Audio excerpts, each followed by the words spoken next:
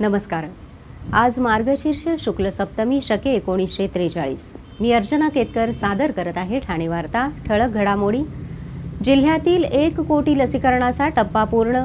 घनदाट झाडाझुडपातून तब्बल सोळा किलोमीटरचा पायी प्रवास करत जिल्हा परिषदेच्या आरोग्य विभागाच्या पथकाचं दापूरमाळ गावात लसीकरण आणि तब्बल सतरा वर्षानंतर सरोवर दर्शनच्या झोपडपट्टी पुनर्वसन प्रकल्पातील इमारतींना भोगवटा प्रमाणपत्र.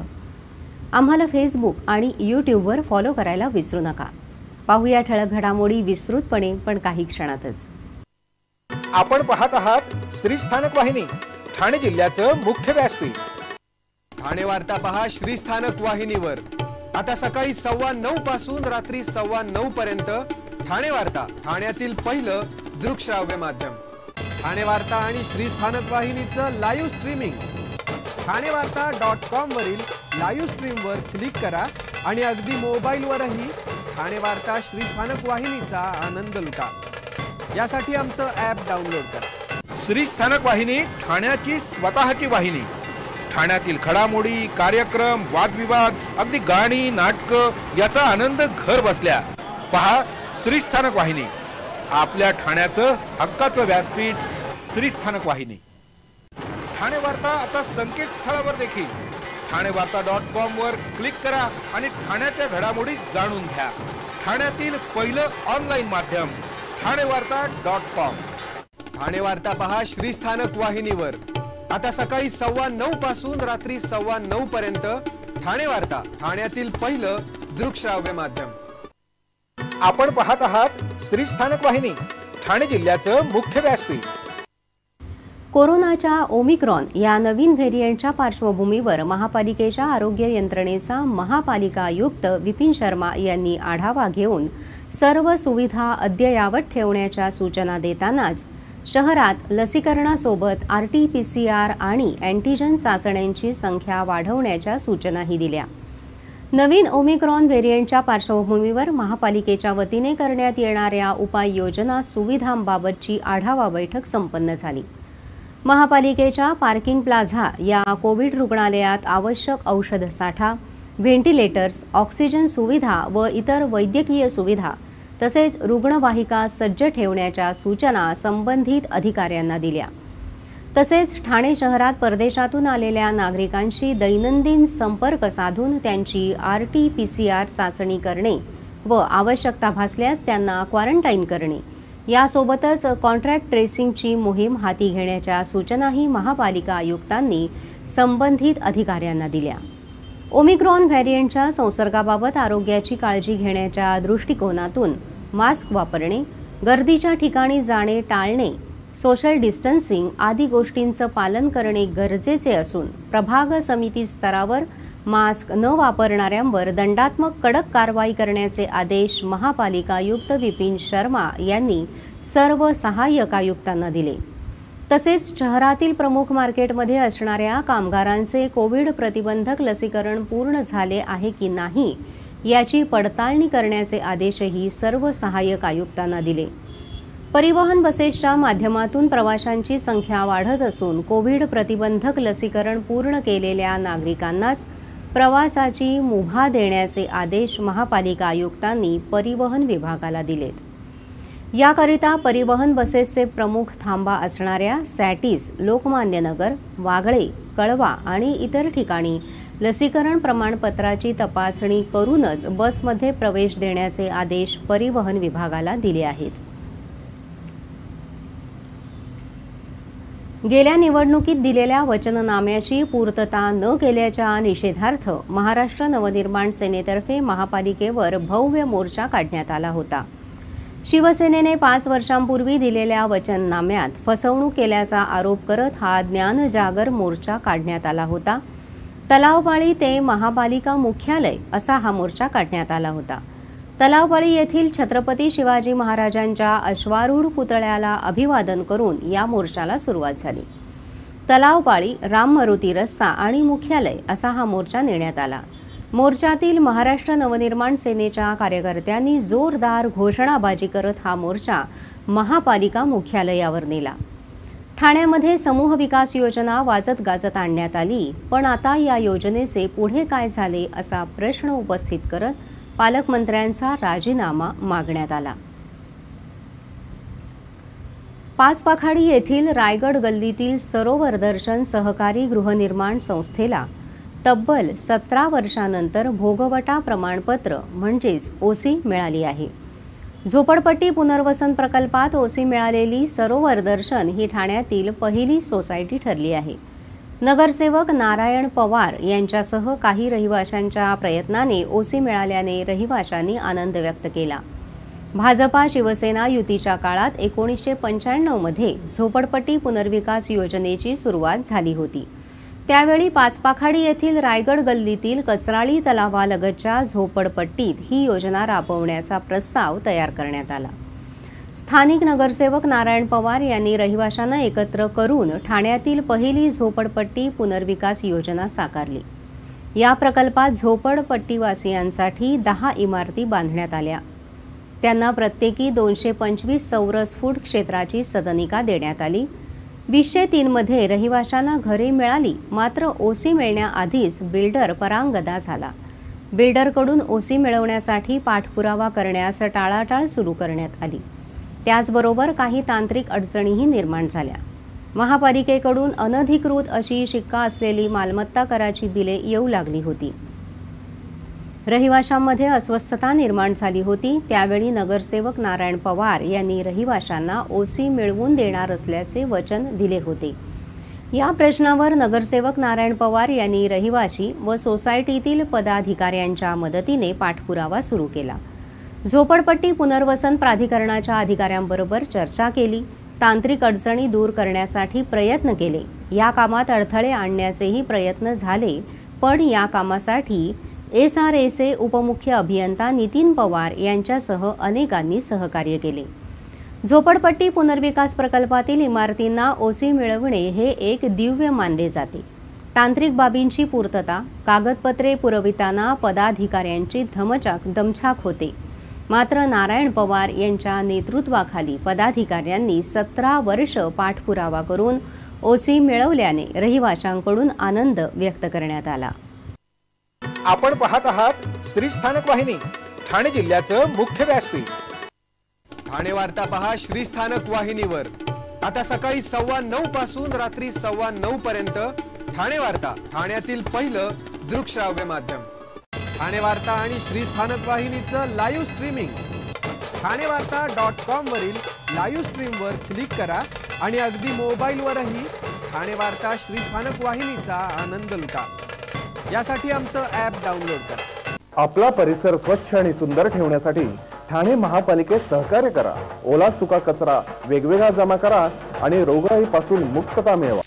डॉक्टर आणि रुग्णांचं पिढ्यानपिढ्यांचं जिवाळ्याचं नातं म्हणजेच doctor Bedekar hospital.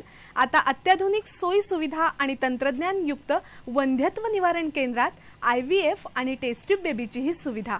Doctor Bedekar hospital Maharshi Karvepath Thane. पासष्ट वर्षांची निरंतर सेवा. ठाणे वार्ता पहा श्रीस्थानक वाहिनीवर. आता सकाळी सव्वा नऊ पासून रात्री सव्वा नऊ पर्यंत ठाणे वार्ता ठाण्यातील पहिलं दृकश्राव्य माध्यम. आपण पाहत आहात श्री स्थानक वाहिनी ठाणे जिल्ह्याचं मुख्य व्यासपीठ. केंद्रीय आरोग्य आणि कुटुंब कल्याण मंत्रालयाच्या वतीने देण्यात येणाऱ्या राज्यस्तरीय कायाकल्प पुरस्कार यंदा ठाणे जिल्हा परिषदेच्या आरोग्य विभागाने मोहर उमटवली. जिल्ह्यात भिवंडी तालुक्यातील वज्रेश्वरी प्राथमिक आरोग्य केंद्र प्रथम तर जिल्ह्यातील अकरा प्राथमिक आरोग्य केंद्रांना उत्तेजनार्थ पारितोषिकं जाहीर झाली आहेत. मुख्य कार्यकारी अधिकारी डॉक्टर भाऊसाहेब दांगडे यांनी प्रत्यक्ष वज्रेश्वरी प्राथमिक आरोग्य केंद्राला भेट देऊन तेथील सर्व आरोग्य अधिकारी कर्मचाऱ्यांचे अभिनंदन केले. सार्वजनिक आरोग्य सेवा सुविधांमध्ये स्वच्छता कचरा व्यवस्थापन आणि संसर्ग नियंत्रण पद्धती सुधारण्यावर नाविन्यपूर्ण काम करणाऱ्या प्राथमिक आरोग्य केंद्रांना दरवर्षी हा पुरस्कार दिला जातो. सन वीसशे वीस एकवीसमध्ये ठाणे जिल्ह्यामध्ये एकूण सव्वीस प्राथमिक आरोग्य केंद्रांमध्ये कायाकल्प पारितोषिकाकरिता सर्वेक्षण करण्यात आले होते. त्यातील चौदा प्राथमिक आरोग्य केंद्रांच्या अंतिम फेरीत समावेश करण्यात आला होता.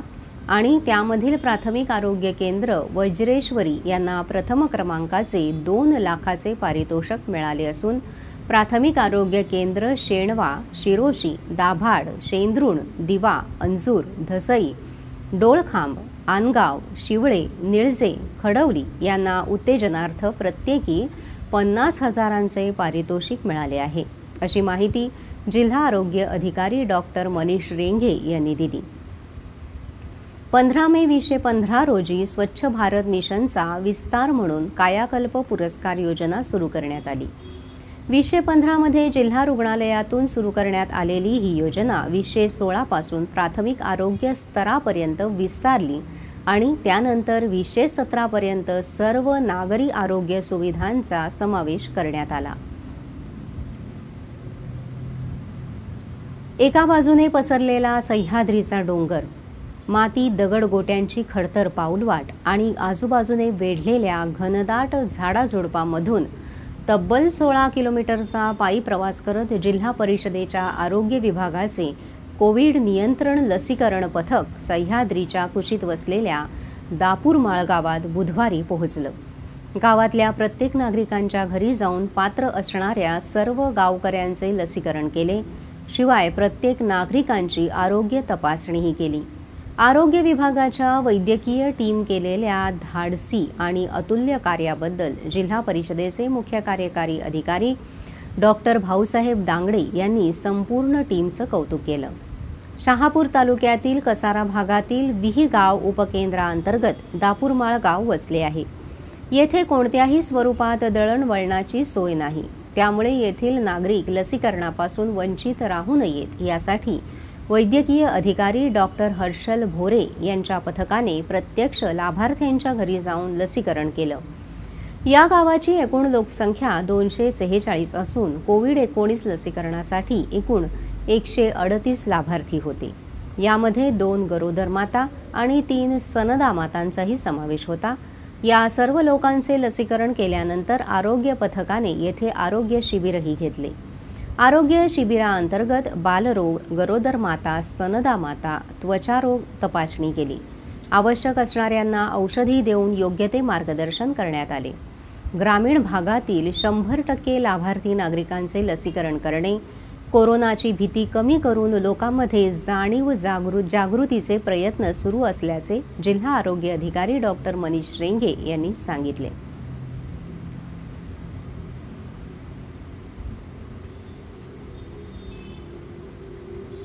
कोरोना प्रतिबंधात्मक लसीकरण मोहिमेत जिल्ह्याने आज एक कोटी डोसेसचा टप्पा ओलांडला. चव्वेचाळीस हजार नागरिकांचे लसीकरण करण्यात आले. त्यामुळे जिल्ह्यात आतापर्यंत एकूण डोसेसची संख्या एक कोटी छत्तीस हजार सहाशे एकोणपन्नास एवढी झाली आहे. या विक्रमी कामगिरीबद्दल जिल्हाधिकारी राजेश नार्वेकर यांनी आरोग्य यंत्रणेचे अभिनंदन करीत लसीकरणाला अधिक गतिमान करण्याच्या सूचना दिल्या आहेत. जिल्ह्यात आतापर्यंत पहिला डोस साठ लाख एकसष्ट हजार सहाशे अठ्ठेचाळीस नागरिकांना तर एकोणचाळीस लाख पंचाहत्तर हजार नागरिकांना दुसरा डोस देण्यात आला आहे. ठाणे जिल्ह्याने गेल्या काही दिवसांपासून लसीकरणात आघाडी घेतली. दिवसाला सरासरी पन्नास हजारापर्यंत लसीकरण केले जात आहे.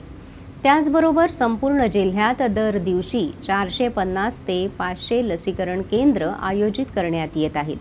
मात्र अजूनही लसीकरणाचा वेग वाढवण्याची आवश्यकता असल्याचे जिल्हाधिकाऱ्यांनी सांगितले. सध्या पहिला डोस न घेतलेल्या लाभार्थींची संख्या जिल्ह्यात जास्त आहे. मात्र दुसरा डोस घेणाऱ्यांची संख्या ही राज्याच्या सरासरीपेक्षाही अधिक आहे. दुसरा डोस घेणाऱ्यांची राज्य सरासरी सत्तेचाळीस पूर्णांक चौऱ्याऐंशी टक्के असून जिल्ह्याची ही सरासरी बावन्न पूर्णांक पंधरा टक्के एवढी असल्याचे त्यांनी सांगितले. जिल्ह्यात कोरोनाचे एकशे अकरा नवे रुग्ण आढळले असून दिवसभरात दोन जणांचा मृत्यू झाला.